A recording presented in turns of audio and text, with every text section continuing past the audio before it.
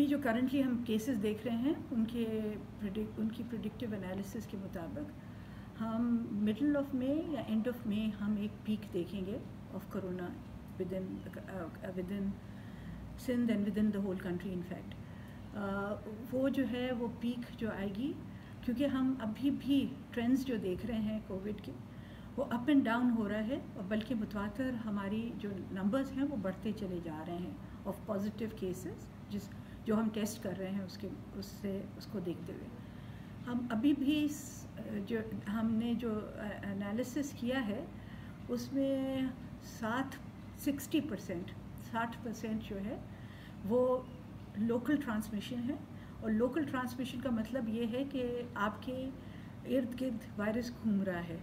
और ये वायरस जो है, ये पीक करेगा मई की एंड या मे की मिडल या मई की एंड तक।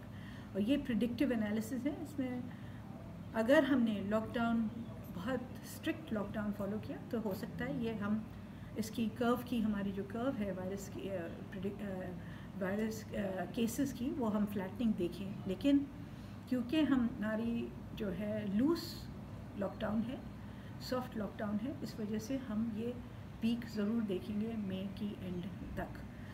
और इसका ख़तरा है इसलिए आप अपने घर में महफूज रहें।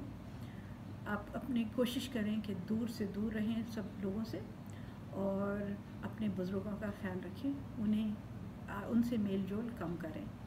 यही है, डिस्टेंस, सोशल डिस्टेंसिंग की ही तरीका है, जिसके ज़रिए हम अपने आप को और अपने प्यारों को, अपनी फैमिली को सेव कर सकते हैं। Thank you.